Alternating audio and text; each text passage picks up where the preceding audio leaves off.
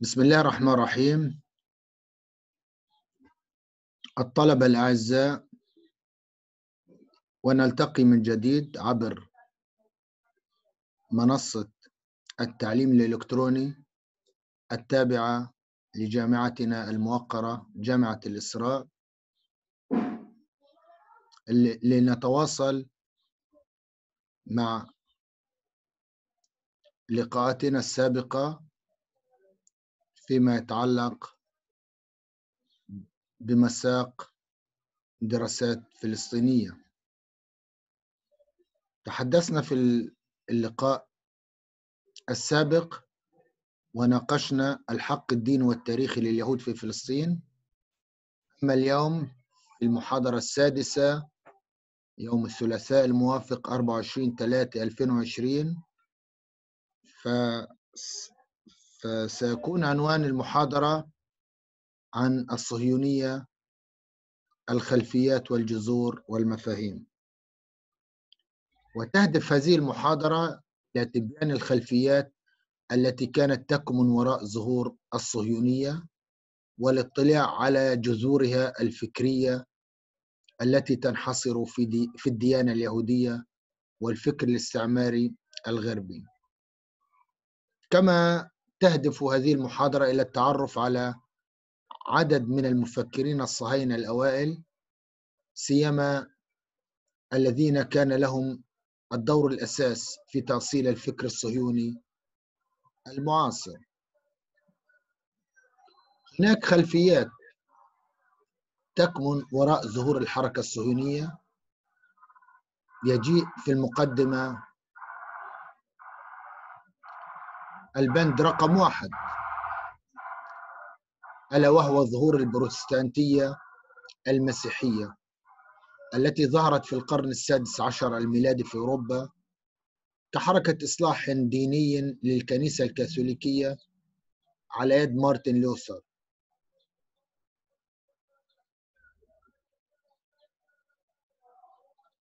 ومن أهم معتقداتها الإيمان بالعهد القديم ألا وهو التوراة إضافة للعهد الجديد ألا وهو الإنجيل. والنظر لليهود وفق رؤية توراتية على أنهم أصحاب الأرض المقدسة فلسطين وأنهم سيعودون من جديد كشرط تمهيدي لعودة المسيح المنتظر. ليخوض معهم معركة هارمجديون. وبناء على هذه الأفكار ظهرت الصهيونية غير اليهودية وظهر أول كتاب يحمل هذه الفكرة عام 1621 في بريطانيا للسير هنري فينش. هنري فينش الذي ينادي فيه بتوطين اليهود في فلسطين. من أهم تعاليم المذهب البروتستانتي جواز ترجمة الكتاب المقدس من اللاتينية إلى اللغات المحلية. كما يرى المذهب البروتستانتي أن مصدر المسيحية هو الكتاب المقدس وليس البابوات وكان المذهب البروتستانتي لا يؤمن بصكوك الغفران وكان يعتبر أن الخلاص سيتم عبر المسيح وليس بالأعمال الصالحة وكان المذهب البروتستانتي لا يمانع في زواج القساوسة وكان يؤمن بأن اليهود هم شعب الله المختار وأن فلسطين هي أرض المعاد. الاعتبار الثاني غير ظهور البروتستانتية اللي هو التغير التغيرات السياسية في أنظمة الحكم الأوروبية. اللي من أعظم تجلياتها الثورة الفرنسية عام 1789 وبدت الأنظمة الحكم الأوروبية تتجه نحو قامة الدولة القومية العلمانية. والدعوة إلى مبادئ الحرية والمساواة والعدالة. واليهود استفادوا بطبيعة الحال من هذا التغير السياسي في أنظمة الحكم الأوروبية. واستفادوا من مناخ الحرية والمساواة والتحرر من القيود المفروضة عليهم كونهم يهود. كما أفادهم في التحرر والانعتاق من عقلية الجيت المغلقة. فظهرت حركة الاستنارة الهسكلة في صفوفهم الهادفة إلى الاندماج ونيل الحقوق المدنية. مما عزز مكانتهم ونفوذهم داخل أوروبا. ثالثا ظهور المشكلة اليهودية. ساهمت عدة عوامل في انتشار العداء لليهود في روسيا وأوروبا الشرقية. في شيوع ظاهرة سماها اليهود اللاسامية أي العداء للعرق السامي الذي ينتمي إليه اليهود. ومن هذه العوامل أن اليهود لم يرحبوا بحركة التنوير الروسية الرامية إلى دمجهم في المجتمع فقاوموا عمليات الدمج والتحديث الروسية القسرية. وزاد العداء لهم لأنهم شاركوا في الحركات الثورية اليسارية المعارضة للقيصر. ولكن العداوة انفجرت بطريقة مفاجئة وفجة عندما اغتيل قصر القيصر روسيا قيصر روسيا ألكسندر الثاني عام 1881 ميلادي. واتهم اليهود حين ذاك باغتياله.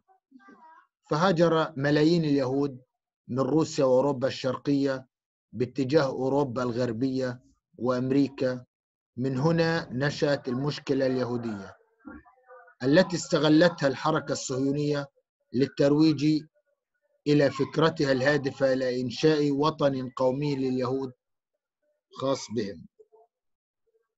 أربعة حاجة الغرب للدولة الوظيفية.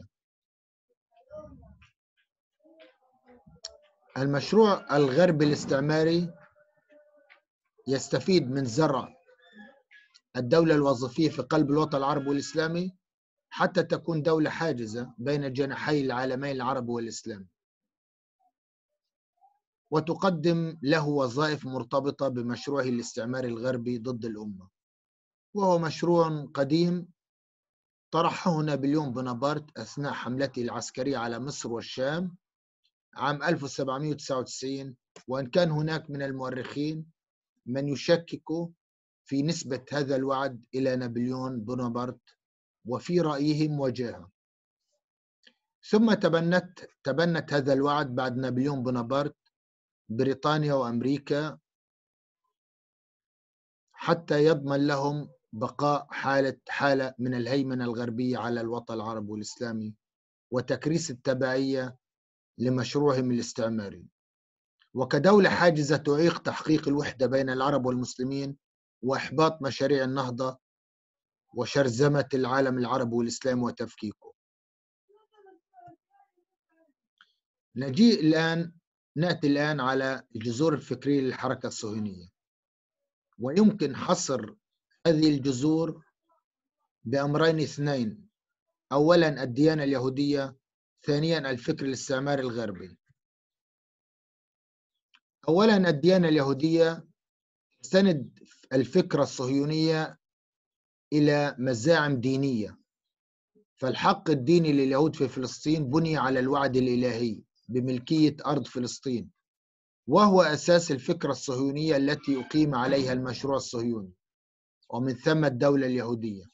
كما أن العاطفة الدينية اليهودية هي التي حركت مشاعر اليهود للهجرة إلى أرض المعاد. ووجهت الكثير من سياسات الحركة الصهيونية والدولة العبرية في مختلف المجالات. ومن أبرز معالم العقيدة التراثية التي تجسدت في الحركة الصهيونية هي أولا الاستيطان حيث حولته الحركة الصهيونية من مفهوم استعماري إلى مفهوم توراتي يستند إلى عودة الشعب اليهودي إلى أرض المعاد مدعوما بشعارات علمانية شعب بلا أرض لأرض بلا شعب. فتحول الاستيطان اليهودي في فلسطين من حركة استعمارية إلى حركة دينية تستند إلى فهم توراتي لعودة اليهود إلى أرض الأجداد. اثنين العنصرية. الحركة الصهيونية جزء من الحركة الاستعمارية الأوروبية وإفراز لها. تستند إلى مفاهيم تفوق الرجل الأبيض و على الأوروبي على غيره من أجناس الأرض. والحركة الصهيونية حولت هذا المفهوم العنصري إلى مفهوم توراتي يستند إلى عقيدة شعب الله المختار أي الشعب اليهودي الذي فضله الله بزعمهم على العالمين وأعطاهم حق استعباد الأغيار الذين يسمونهم الجويم وبالتالي فإن الاستعلاء على الآخرين يستند إلى عقيدة توراتية متغلغلة في عقلية اليهود المنحرفة. العزلة ثالثا العزلة فالتوراة المزيفة والتلمود الذي كتبه اليهود بأيديهم مليئان بدعوتهم للعزلة عن الآخرين. فالعزلة اليهودية متجذرة في الوجدان اليهودي وفي فلسفة الحركة الصهيونية وذلك من خلال بناء الأسوار والمتاريس والحصون والقلاع والأبراج للاختباء خلفها وهو ما أكده القرآن الكريم في قوله تعالى لا يقاتلونكم جميعا إلا في قرى محصنة أو من وراء جدر. وهذه الحقيقة يؤكدها تاريخهم القديم في حصون خيبر وخط بارليف وتحصين المستوطنات. ثانيا الفكر الاستعماري الغربي الذي نشأ من فكرة عنصرية ترى أحقية الجنس الأبيض المتحضر في استعمار في استعمار أراضي الشعوب الغير الأوروبية من أجل تعمير أراضيها ونقل سكانها إلى مصاف الحضارة. ومن فكرة واجب الرجل الأبيض في تحضير الأمم المتأخرة واستعمار أراضيها لتطويرها ولا ضير أن قتل وهجر واستعبد الملايين في سبيل ذلك الهدف. وهذا ما حدث في أمريكا الشمالية وأستراليا وجنوب أفريقيا وغيرها مع الشعوب الأصلية للبلاد المستعمرة. والفكرة الصهيونية نابعة من نفس المنطق الأعوج ففعلوا بفلسطين وسكانها نفس ما فعله الغرب الاستعماري بالشعوب الأصلية للبلاد التي غزوها غزوها. وزادوا عليه عنصريتهم المستمدة من كتبهم الدينية المزورة والتي ترى أن اليهود هم العرق الأنقى والشعب الأفضل الذي له رسالة حضارية عبر عنها هرتزل بقوله إن الدولة اليهودية ستكون عبارة عن حصن منيع للحضارة في وجه الهمجية. ثالثا مفهوم وتعريف الصهيونية. أولا ملاحظات عامة. أولا لابد من التمييز بين اليهودية والصهيونية. اليهودية دين سماوي وعقيدة دينية ينبثق منها عبادات شرائع وقيم الصهيونية حركة سياسية استعمارية ذات طبيعة عنصرية واستيطانية تسخر الدين اليهودي لتحقيق أهدافها العدوانية والتوسعية. اثنين الصهيونية ليست هي اليهودية نفسها فهي حركة قائمة على الجهد البشري الذي فسر اليهودية كما يريد وأعطاها بعدا استعماريا والدليل على ذلك أن الصهاينة اليهود فيهم المتدين والعلماني والملحد لكن يجمعهم جميعا الإيمان بالقومية اليهودية والوطن اليهودي. الفكرة المركزية في الأيديولوجية الصهيونية هي الامتزاج بين القداسة والقومية الارتباط العضوي بين الله والشعب اليهودي والأرض المقدسة. فالله تعالى قد حل في الشعب اليهودي المقدس أي أن روح الله قد حلت في الأمة اليهودية وروح الشعب اليهودي لا تستطيع أن تعبر عن نفسها إلا إذا عاش الشعب اليهودي فوق الأرض المقدسة فلسطين. إذا فإعادة الشعب المقدس إلى أرض إلى الأرض المقدسة هي كما يراها اليهود الصهاينة تجسيد لإرادة الله تعالى. بقيت الإشارة إلى أن الحركة الصهيونية قد سميت بهذا الاسم نسبة إلى جبل صهيون الواقع في جنوب غرب القدس وصهيون كلمة كنعانية ذكرت في التوراة بلفظة سيون ومعناها الحصن حيث ذكرت أن هذا الحصن كان لليبوسيين الكنعانيين. كما يعتقد اليهود أن داود عليه السلام قد بنى قصره على جبل صهيون الذي كان مركز مدينته ودفن فيه ولذلك اتخذه اليهود الصهاينة رمزا لحركتهم ومشروعهم.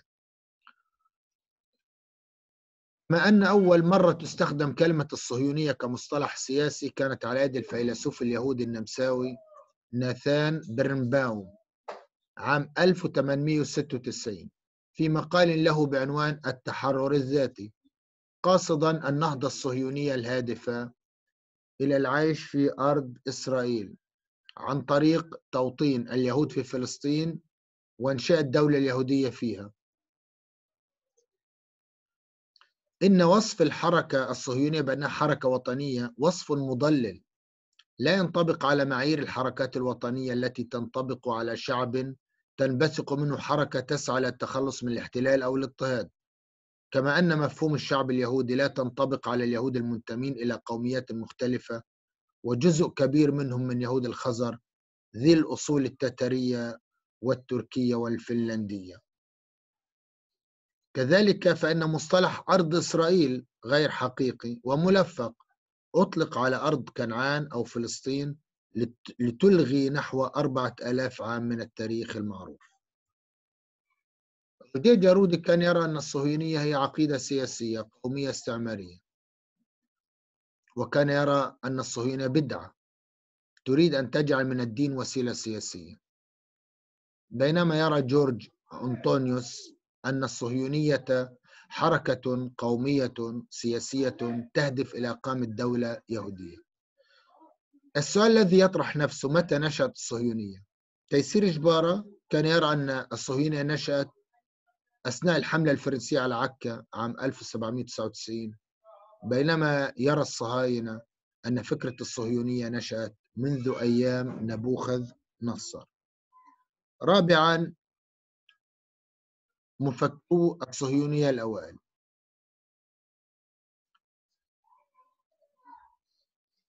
أولا شابتاي زيفي ولد سنة 1626 وتوفي سنة 1676 ميلادي.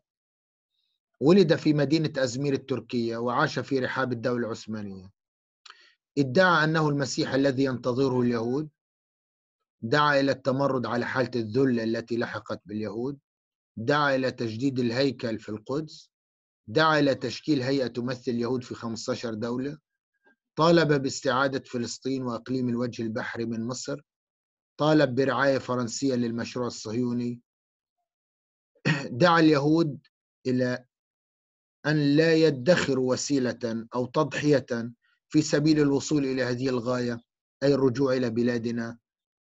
حيث يمكن أن نعيش في ظل شرائعنا الخاصة على حد تعبيره اثنين الحخام يهودا القلعي ولد سنة 1798 وتوفي سنة 1878 ميلادي. ولد في مدينة سراييفو في البوسنة. دعا إلى استرجاع الأرض المقدسة عن طريق أولا إنشاء مجلس حكماء يهودي يفرض طاعته. ثانيا إقامة صندوق قومي لشراء الأراضي في فلسطين. ثالثا إنشاء صندوق لجباية الضرائب من اليهود. رابعا إنشاء صندوق لجباية الضرائب من اليهود. ثم عودة اليهود تدريجيا إلى أرض المعاد والعمل على تحديث اللغة العبرية. وألف كتاب شالوم يورشلايم بمعنى سلام للقدس.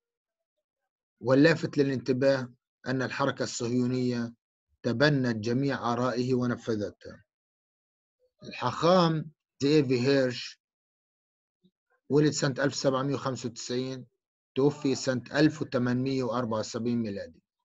ولد في مدينة سور سورون ببولندا. ألف كتاب البحث عن صهيون ومن أهم أفكار الواردة فيه الدعوة إلى الاستيطان الزراعي اليهودي في فلسطين التأكيد على أن بداية الخلاص اليهودي هو بالجهد الإنساني العمل على كسب موافقة الأمم على جميع على جمع اليهود في الأرض المقدسة. اعتبر أن العمل في الأرض المقدسة هو جهد مقدس.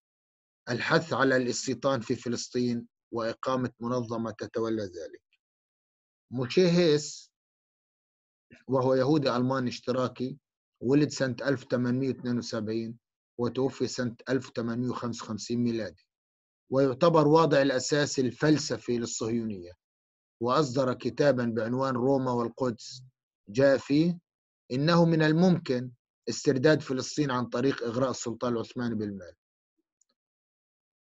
تساءل في كتابه قائلا إذا كان للإيطاليين وطنيتهم فلماذا لا يكون ذلك لليهود؟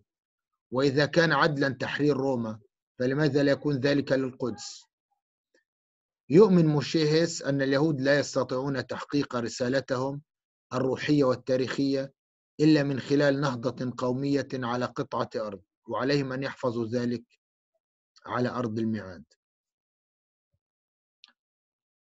ليوبنسكر ولد في بولندا سنة 1821 وتوفي 1891 ميلادي وعاش في روسيا. ولد في بولندا وعاش في روسيا. أسس حركة أحباء صهيون في روسيا وأوروبا الشرقية. أصدر كتاب التحرر الذاتي دعا فيه إلى التالي واحد إيجاد قومية يهودية تتيح لهم العيش على أرض واحدة محددة. دعا إلى تأسيس منظمة دولية لليهود. دعا إلى إقامة شركة لشراء الأراضي تقوم بهذه المهمة ولكنه لم يركز على فلسطين في كتابه. وأخيرا تيودور هيرزل ولد في بودابست سنة 1860 وتوفي عام 1904 ميلادي وهو يهودي مجري نمساوي.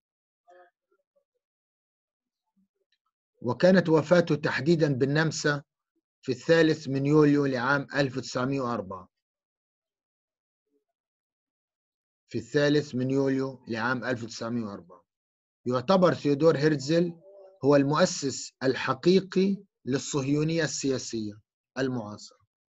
عمل مراسلا صحفيا اهتم بنشر القصص والروايات حصل على الدكتوراه في الحقوق سنة 1884 يعني كان آنذاك عمره 24 سنة. تزوج من ابنة رجل ثري في فيينا وذلك في الخامس والعشرين من يونيو لعام 1889 1889 ميلادي. نشر كتابه الدولة اليهودية حيث نظر فيه للمسألة اليهودية باعتبارها مسألة باعتبارها مسألة قومية. دعا إلى إقامة جمعية لليهود وشركة يهودية تمهيدا لإنشاء الدولة اليهودية وذلك ردا على مشكلة اللاسامية. لم يقتصر دور ثيودور هرتزل في الدعوة النظرية للصهيونية بل أخذ بل أخذ على عاتقه إنشاء المنظمة اليهودية العالمية التي أنشأت الدولة اليهودية ما بعد. وفي الأخير دعونا نجمل خلاصة هذه المحاضرة وتعقيب إذا الحركة الصهيونية كان لظهورها مقدمات وخلفيات عديدة تشابكت فيما بينها وساهمت في خروجها واقعا مؤثرا في التاريخ. كان من بينها ظهور البروتستانتية المسيحية كحركة إصلاح أحدثت زلزالا في المسيحية الكاثوليكية. ودمجت العهد القديم اللي هو التوراة في المنظومة الدينية والثقافية للمسيحيين وكذلك التغيرات السياسية في أنظمة الحكم الأوروبية وهم وأهم ملامحها التحول نحو الدولة القومية العلمانية ما مهد الطريق لليهود لفكرة الدولة القومية اليهودية. أضف إلى ذلك ظهور المشكلة اليهودية في روسيا وأوروبا الشرقية وهي المشكلة التي أدت إلى تهجير ملايين اليهود من روسيا وأوروبا الشرقية إلى غربها حيث استغلتها استغلتها الحركة الصهيونية للترويج لفكرة الخلاص اليهودي عبر الدولة القومية الخاصة بهم. فانسجمت تلك العوامل مع حاجة الغرب للدولة الوظيفية في قلب الوطن العربي والعالم الإسلامي؟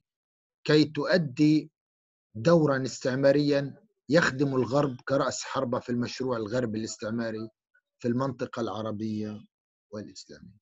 بهذا الطلبة الأعزاء تكون يكون لقانا لقاؤنا الثاني عبر منصة التعليم الإلكتروني في جامعة الإسراء تكون المحاضرة قد انتهت. على أمل اللقاء بكم إن شاء الله في المحاضرة القادمة. أدام الله عليكم الصحة والعافية والنجاح. والسلام عليكم ورحمة الله وبركاته.